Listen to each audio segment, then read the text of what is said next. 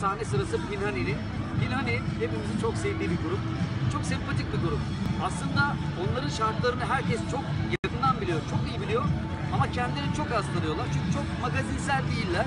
Onları hemen e, tanıştırmak, tanıştırmak istiyorum sizlere. Hemen yanında solistle başlayalım.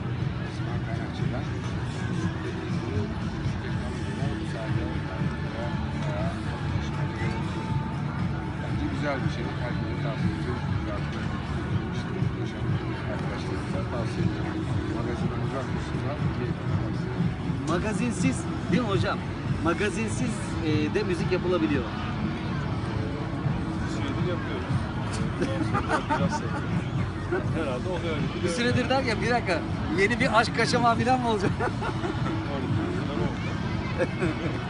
Aslında yok. Biz de kızlardan biriyle falan birimiz çıksa biz bayağı değişik bir yere geliriz.